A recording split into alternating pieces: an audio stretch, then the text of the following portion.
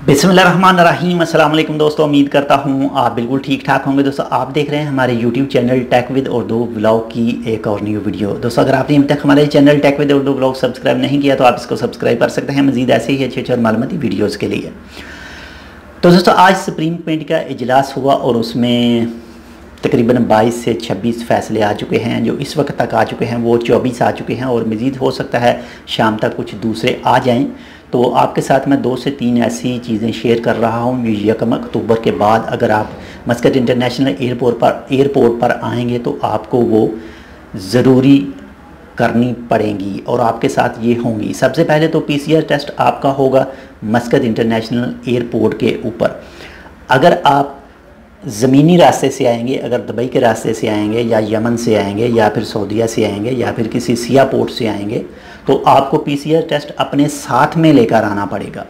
अगर आप फ़िज़ाई रास्ते से आएँगे, अगर आप बजरिया जहाज़ आएँगे तो आपका जो पीसीआर टेस्ट होगा मस्कत इंटरनेशनल एयरपोर्ट के ऊपर किया जाएगा। और अगर ज़मीनी रास्ते से आएँगे तो आपको साथ लेकर आना पड़ेगा अपना टेस्ट की रिपोर्ट।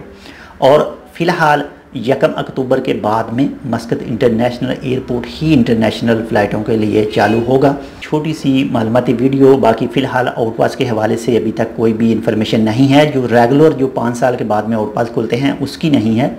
ये दूसरा रूल है कि जब आवाज़ से काफ़ी अर्सा पहले सबरीम कमेटी ने बताया था कि जिन भी कंपनियों को मौजूदा हालात में खसारा हुआ है, नुकसान हुआ है, वो अपने आदमी वापस कर सकते हैं, कैंसिल कर सकती हैं, लेकिन उनके जितने भी वाजबात है, वो अदा करने होंगे।